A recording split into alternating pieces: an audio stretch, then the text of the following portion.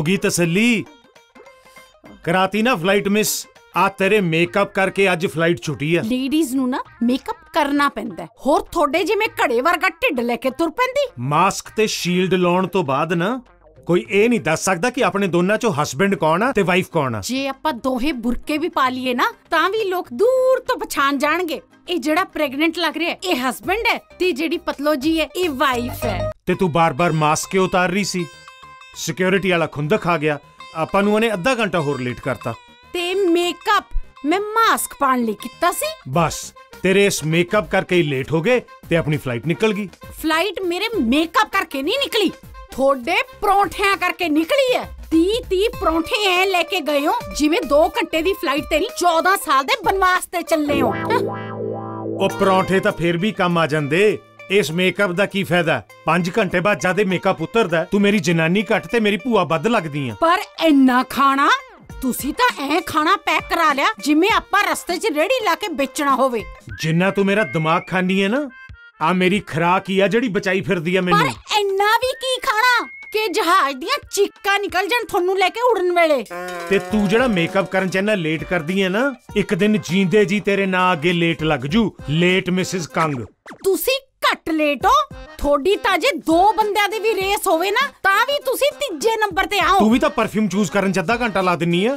ਤੇ ਜਿਹੜਾ ਪਰਫਿਊਮ ਲਾਉਣੀ ਵੀ ਹੈ ਇੰਨਾ ਵਾਹਿਆਤ ਕਿ ਤੇਰੇ ਨਾਲ ਦੇ ਸੀਟ ਬਦਲ ਲੈਂਦੇ ਆ।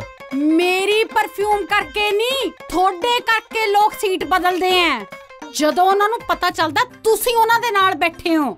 ਤੁਹਾਡੇ ਨਾਲ ਵਿੰਡੋ ਸੀਟ ਦਾ ਮਤਲਬ ਬੰਦਾ ਸੱਚੀ ਜਹਾਜ਼ ਦੀ ਵਿੰਡੋ ਤੇ ਬੈਠੂ। ਇਹ ਸਭ ਛੱਡੋ। ਤੁਸੀਂ ਚਾਚਾ ਜੀ ਨੂੰ ਫੋਨ ਕਰਕੇ ਕਹੋ ਕਿ ਸਾਡੀ ਫਲਾਈਟ ਮਿਸ ਹੋ ਗਈ ਹੈ। ਅਸੀਂ ਡਿੰਪੀ ਦੇ ਵਿਆਹ ਤੇ ਨਹੀਂ ਆ ਸਕਦੇ। ਉਹ ਮੈਂ ਨਹੀਂ ਕਰਨਾ ਤੇਰੇ ਗੱਪੀ ਚਾਚੇ ਨੂੰ ਫੋਨ ਉਹਨੇ ਕਹਿਣਾ ਮੈਨੂੰ ਦੱਸ ਦਿੰਦੇ ਮੈਂ ਫਲਾਈਟ ਰੋਕ ਦਿੰਦਾ। ਕੱਪੀ ਨਹੀਂ ਹੈ ਚਾਚਾ ਜੀ।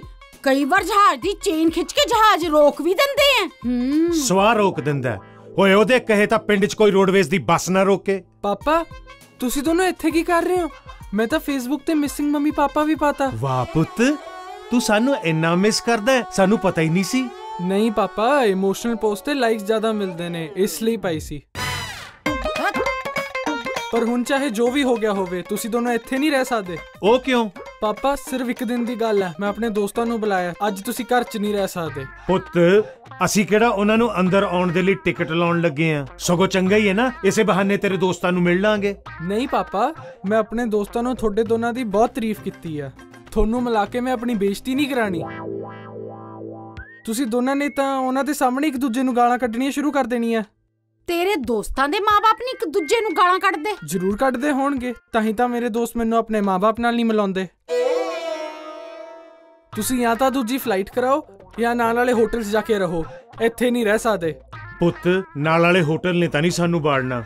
ਉਹ ਪਿਛਲੀ ਵਾਰ ਅਸੀਂ ਉੱਥੇ ਇੰਨਾ ਕਲੇਸ਼ ਕਰਤਾ ਸੀ ਕਿ ਅਗਲਿਆਂ ਨੇ ਪੁਲਿਸ ਬੁਲਾ ਲਈ ਸੀ।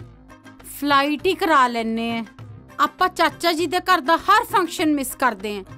ਇਹ ਸਹੀ ਗੱਲ ਨਹੀਂ ਹੈ। ਕਿ ਉਹ ਦਾਦੀ ਜੀ ਦੇ ਪੂਰਾ ਹੋਣ ਤੇ ਆਪਾਂ ਗਏ ਨਹੀਂ ਸੀਗੇ? ਹਾਂ ਪਰ ਕਿਸੇ ਵਿਆਹ ਸ਼ਾਦੀ ਦੇ ਫੰਕਸ਼ਨ ਤੇ ਤਾਂ ਨਹੀਂ ਗਏ ਨਾ। ਉਹਨਾਂ ਨੂੰ ਇਹ ਨਾ ਲੱਗਣ ਲੱਗ ਜੇ ਕਿ ਜੇ ਸਮੀਪ ਨੂੰ ਮਿਲਣਾ ਤਾਂ ਕਿਸੇ ਨੂੰ ਸ਼ਹੀਦ ਹੋਣਾ ਪੈਣਾ